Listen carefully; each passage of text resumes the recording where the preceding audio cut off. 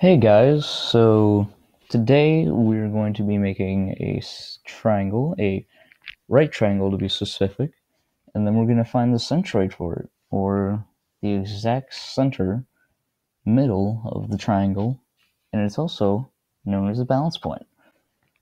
So let's get on with this, shall we?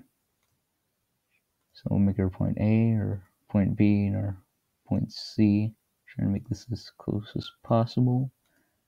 Let's check the angle. This is uh we're one percent off. Might be a while. Uh so close.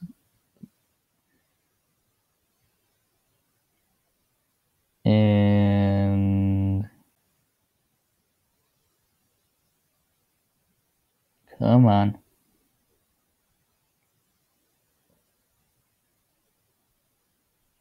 Uh, oh, there we go.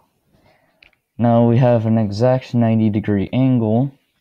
We are going to find the centroid.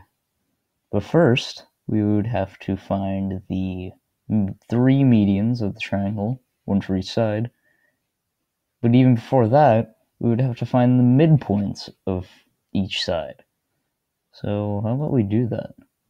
So with our handy dandy midpoint tool, we will find the midpoints of AC, which will be D, CB, which we will call E, and BA, which we will call F.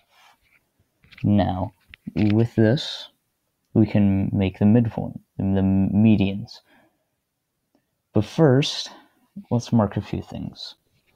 Now, the reason why we're going to be marking is because since we have our midpoints, this would then make it so that the since the original line is cut into two congruent lines because of the midpoint, which would be D, D would be the midpoint of AC, so AD and CD, since those are two lines making up AC, would be congruent. So let's go ahead and mark that. This would apply to all the other ones, so E being the midpoint of CB, CE, and BE would be congruent.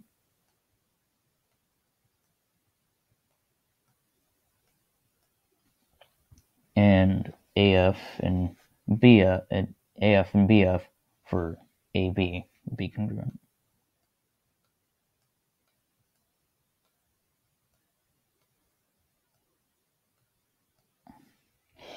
Now that we have those marked, we can then move on to drawing the median lines.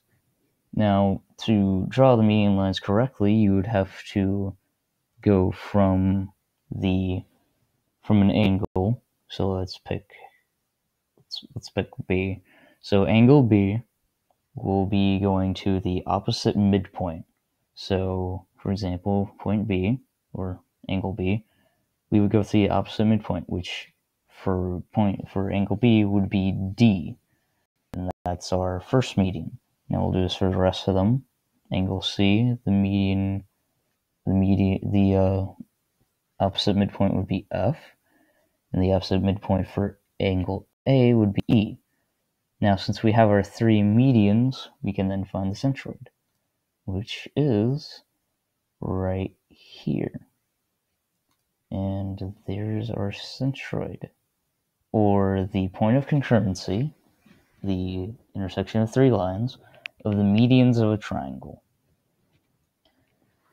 oh, oh, yeah, I almost forgot. Fun fact the centroid cuts the median by thirds. So we have our centroid right here. So we'll pick our midpoint. So from D to the centroid, this right here would be one third of the median going through the triangle. So from D to the centroid would be one third of DB. Um, this also applies to every other um, median. So from E to the centroid, this would be one third of EA, not not this EA Sports. It's just it's just kind of trash. From F to the centroid being FC, F F to the centroid would be one third of FC. So yeah, that's that's about it. Hope this is helpful for you, and I'll see you next time.